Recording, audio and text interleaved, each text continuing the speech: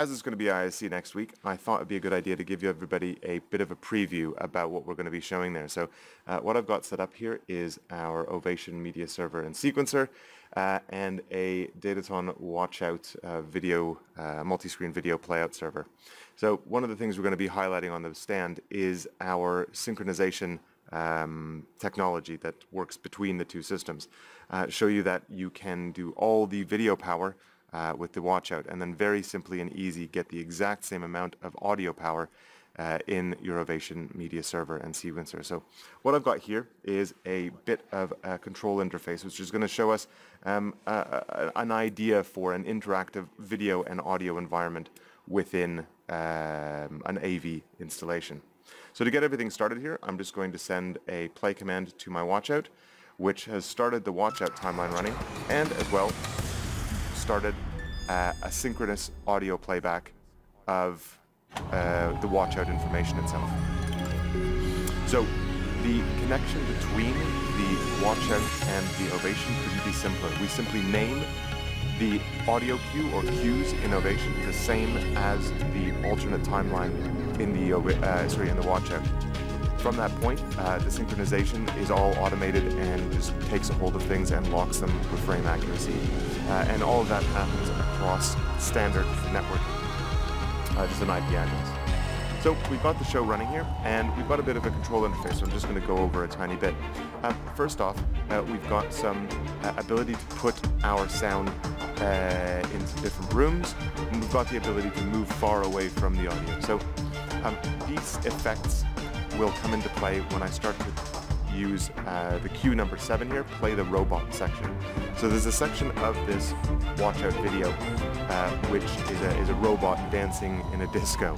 So what I've done is I've done a little bit of uh, audio track lay here in Ovation. We can see I've got a multi-track bit of uh, audio playing that's going to play back here and uh, an accompanying video in the watch out. So let's just play it back and see what happens. So go in here. Now I have a synchronous audio of the robot special timeline and as well, you can see that that watchout main timeline has resynced. The reason for that is, is it's in watchout, it is uh, the watchout timeline that's playing, and the robot special is simply an overlay. So now we can see here we've got we've got synchro. It's uh, everything's working to, to match the audio to the video, and we get a little disco dancing here. So because we're in Ovation, we can start doing some more interesting things than what could just happen with a simple playback of audio, which is fine if it plays back the audio, that's done, but to create interactivity, we need to be able to amend both the video and the audio uh, on the fly. So I'm just going to stop that robot section and I'm going to play it back again.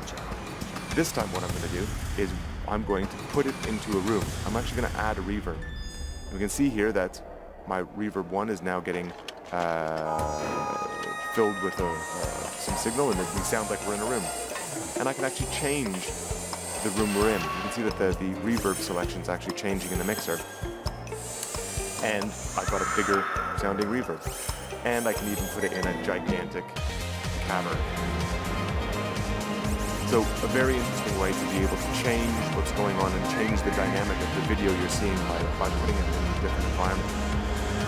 So I can amend and affect the audio, but I can also then change, pan, and, and move our, our viewer through an audio environment. So I'm going to do the same thing here. I'm, I'm now in, still in this, go back to a non-cavernous room. But I'm now going to move away from the audio. So we're in the room with the robot, we're right up next to him, everything's moving around, but I'm going to click this, and you're going to see a nice fade to us being outside of the room. This is a simple volume control, but the effect it has is one that pushes the viewer into different parts of uh, a sonic environment while watching a video to help suspend this video. What I'm trying to do. So that's completely possible. All of it's manually driven. That's great, but we can also automate all this occurring. So within this, I've got markers that are set up within my multi-track cue.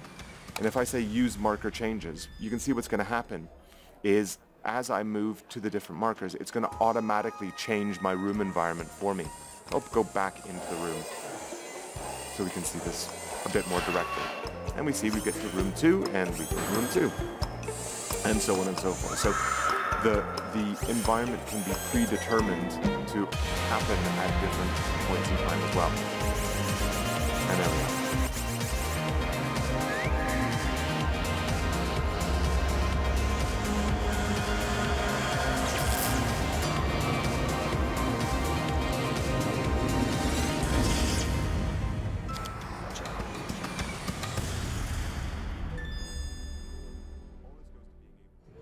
All this goes to being able to control playback uh, from the Ovation uh, and also then send the control to do playback in the watchout. But as watchout can this means you can start with but as watchout can manage most, live video inputs, Ovation can also manage live microphone inputs. You'll see there on channel 8 that that's actually me talking. And if I click a button down here, I can make sure that I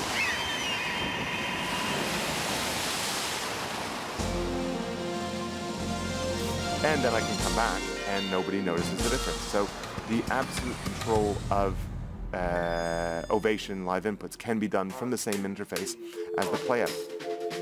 And to that end, I can also put myself into the room. So I'm going to go back and say, play the robot section, and we're going to go back into the room with Mike, with the, with the robot looking around having a dance, and I'm going to put him in a fairly large room here.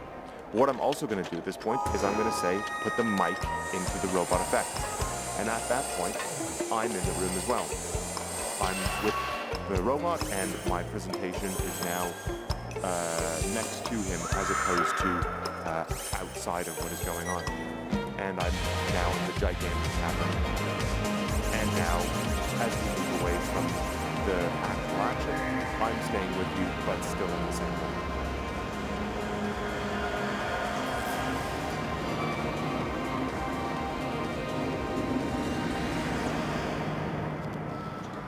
So all of this goes together to be able to create and maintain an interactive audio and video uh, environment. So that's just a little preview of what we've got going on in the booth. If you uh, feel like coming by, we're on stand 7 and 220 at ISE 2013. I hope to see you there. Take care, everybody. Bye.